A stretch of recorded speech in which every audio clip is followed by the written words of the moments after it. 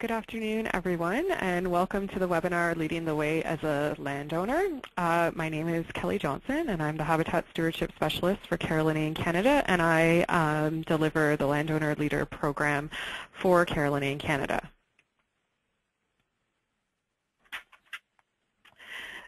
So who is Carolinian Canada Coalition and what do we do? Since 1984, Carolinian Canada Coalition, which is a registered charity, has been leading eco has been a leading eco-regional group in Canada. The goal of our organization is essentially to protect the unique nature of Southern Ontario. More specifically, our mission is to protect and restore the natural heritage of the Carolinian Life Zone for healthy, sustainable landscapes through stewardship, cooperation, and research. We have a big picture vision and focus our efforts throughout and across the region, partnering with different organizations, businesses, and individuals. So what exactly do we do at Carolinian Canada? I'm just going to cover the Ecosystem Recovery Program to begin with so that you know where the Landowner Leaders Program comes from and where it ties into our other programs. Our Ecosystem Recovery Program um, or the Conservation Action Planning Program um, is one of our major programs, and our conservation action plans, or what we call CAPs, serve to strengthen and coordinate the greening efforts of existing agencies, organizations, and local groups. And each CAP is tailored to the area in which it is developed by the CAP team. At this time, almost the entire Carolinian Life Zone is covered by Conservation Action Plan, and I'll show you a map in just a moment of where those conservation action plans actually are on the landscape. So nearly 100 organizations have contributed to the development and the implementation of CAPS within the Carolinian Life Zone. Some of our partners have included um, NGOs such as land trusts, field naturalists, woodlot owners, and stewardship groups. Our partners have also been conservation authorities, governments and municipalities, First Nations, um, the agricultural community, and some of their organizations such as Federations of Agriculture or Christian Farmers Organization, also business and industry, and local communities and landowners. So that last point is very important for the conservation action plans.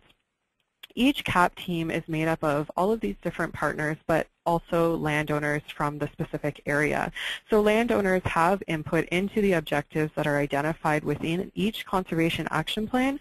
So rather than some of our partners or government dictating what needs to be um, specified within each conservation action plan, such as the conservation targets or conservation objectives, landowners in each community have a say into what the objectives should be, and they're able to give their feedback and incorporate that into each conservation action plan. So that's very important.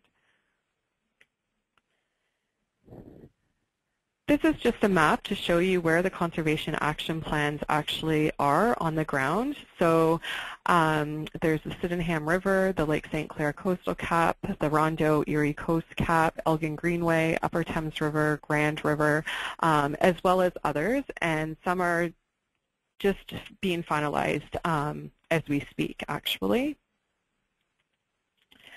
So Carolinian Canada's role in conservation action planning is to facil facilitate the development of the CAPs and to help coordinate and find resources for CAP implementation. So each CAP has a number of objectives that have been identified by the partners who have worked on developing the CAP, and we look to find resources for the implement implementation of these objectives. We also work to monitor and evaluate um, each CAP. Carolinian Canada's approach is to build good relationships between sectors and groups and individuals. We encourage community participation by including individual landowners in the CAP development, and we work together toward common goals as identified in the Conservation Action Plans. And that brings us to our Landowner Leaders Program, because just as landowners are a very important part of the conservation action planning process, they are important as on-the-ground leaders. The Landowner Leaders Program provides opportunities to learn more about becoming a good steward, setting goals for habitat projects, and help in developing and implementing a Carolinian Habitat Action Plan for individual properties. The Landowner Leaders Program aims to build a broad network of landowners across the Carolinian Life Zone. These landowners will be contributing to ecosystem recovery based on good science by helping to fulfill the objectives in our conservation action plans. Through the program, landowners will have access to the best available resources and tools as we connect them to our various partner organizations to implement on-the-ground work. Landowner leaders will also be leaders in their own communities in respect to stewardship activities. Landowner leaders can be rural landowners, they can be urban landowners, businesses, or institutions. Carolinian Canada staff will help landowners decide what habitat is on their property um, that is important to steward and restore, and this will be based on our Conservation Action Plan objectives.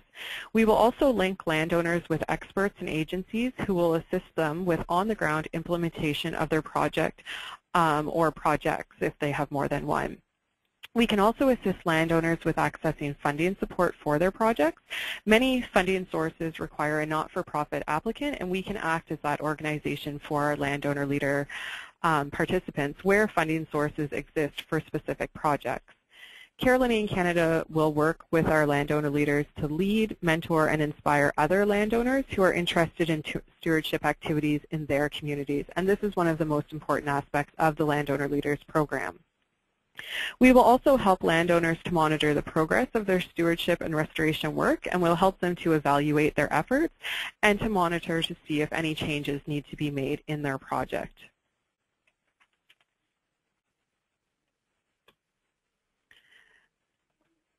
So this slide just outlines the process of the Landowner Leaders Program. So the first step in the process is to attend a workshop or a webinar similar to this one. Once you've attended the workshop or the webinar, then you're looking to identify objectives for your land.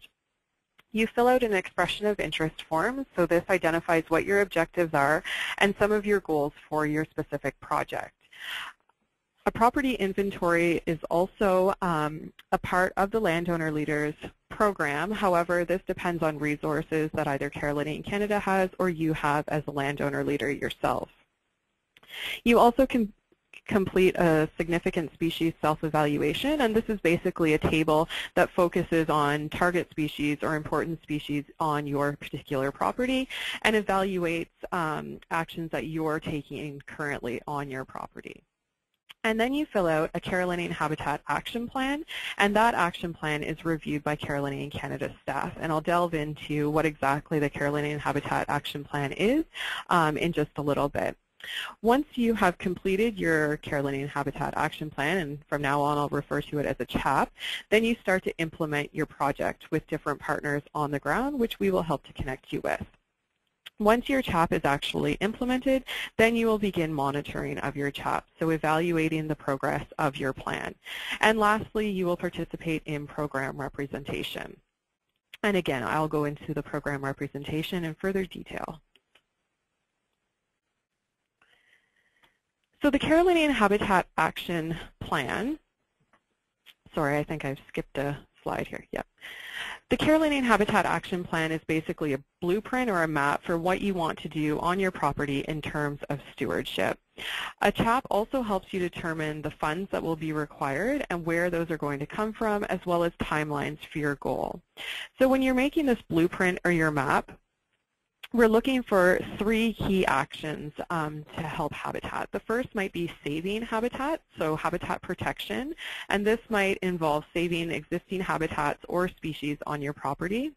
The second key action is stewardship or habitat improvement. This could include practices like controlling invasive species, maybe Phragmites or purple loosestrife, providing nesting boxes for birds and bats, and building a snake hibernaculum. And the third key action is seeding or habitat creation. This could involve things like planting trees, establishing a grassland or tallgrass prairie, or constructing a wetland. So as you can see, by each of these three actions, anybody can participate in the Landowner Leaders Program, whether you're a rural landowner or whether you're an urban landowner, whether you're a business or whether you're an institution. And each of the projects have varying degrees of financial requirement. So again, this program is available to people who have limited funds who still want to participate.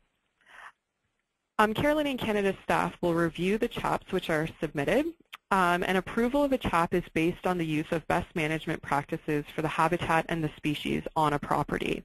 An excellent resource when developing your CHAP is the Rural Landowner Stewardship Guide, and this document is available on our website or as a hard copy, and I'll provide contact information at the end of the presentation. After a CHAP is reviewed by Carolinian Canada staff, the landowner will either move into our ambassador stream or the participant stream, and I'll discuss the two streams um, in a minute and what the difference is between them. So once your CHAP is complete and it's being reviewed by staff and approved, and you've moved into either the ambassador or the participant stream, then Carolinian Canada will connect you with experts in your area in order to implement your project on the ground. We may connect you with Conservation Authority, Ducks Unlimited, Ministry of Natural Resource, or Stewardship Council if they still exist in your area, or we might connect you with industry partners so people who actually have um, businesses doing some of these different things, such as restoration.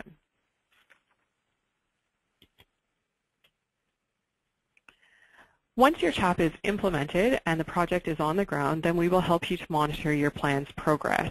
Um, you will be required to provide an annual update. So in the update, we'll be looking to see if the actions in the CHAP are still appropriate for your property.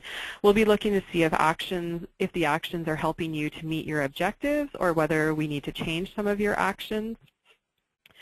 We'll be looking to see if you need further assistance from Carolinian Canada or any of the partners for further implementation or for the monitoring.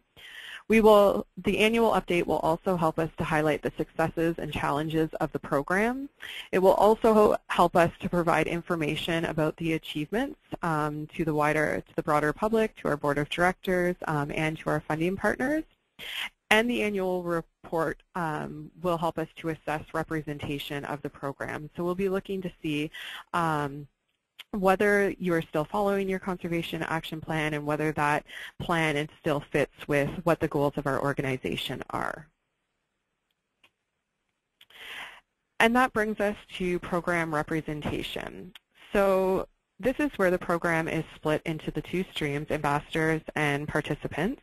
Um, so after we review your Carolinian Habitat Action Plan, we will be looking to see whether you fit into the ambassador stream um, or the participant stream. In the ambassador stream, then you will be involved in program representation, whereas in the participant stream, you will be working with partners to implement your program project and monitoring its progress.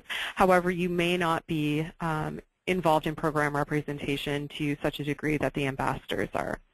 So landowner leaders, ambassadors, will share stories um, with other landowners that can help to empower and build awareness of projects that are happening on the ground, basically sharing good news stories with the broader public. Program representation also brings attention to the positive impacts landowners are having on the landscape, so we want to let people know what is being done and what's happening in their communities and in their neighborhoods. We will work with landowner leader ambassadors to identify opportunities where they can share their stories. So this might um, be through our online profiles, which you can cur currently view on our website. It might be an article in your local newspaper. You might be asked to do one-on-one -on -one talks with landowners. You may be asked to speak at workshops. Some of our landowner leaders that we currently have are speaking at our event on April 18th in London, and they're hosting a session about the Landowner Leaders Program. Um, and you may also be asked to host a tour on your property um, to welcome the public or to welcome a specific group to show what is actually being done on your land. Of course, all of these different activities are optional. Um, and so it's up to you what you participate in. If you're not big on speaking in public, then you won't be asked to speak at a workshop or you won't be required to speak at a workshop. Uh, you might be more comfortable with the online pro profiles or an article in the newspaper or simply hosting a tour on your property. But again, any of these items under program representation are optional we basically want our landowner leaders to act as ambassadors of the program. So again, sharing those good news stories with the broader public, um, their neighbors, and their communities. We currently have six landowner leaders spread across the Carolinian Life Zone. Um, and throughout um, in many different counties. So we have the Ainsleys down in Essex, we have the Shepherds up in Lambton County, the Benisheks in Chatham-Kent, Cavanese in Elgin, um, the Cassirs in Elgin as well, and Boothby's in Norfolk. So again, we're looking for um, a number of landowner leaders to be spread across the landscape um, in the Carolinian Life Zone.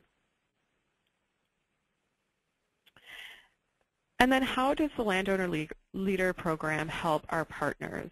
So we help our partners to recruit landowners for stewardship actions.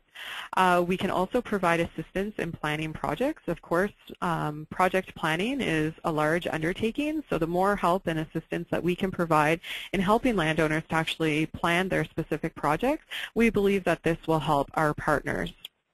We can also help our partners to secure funding for specific projects um, to help these projects get on the ground.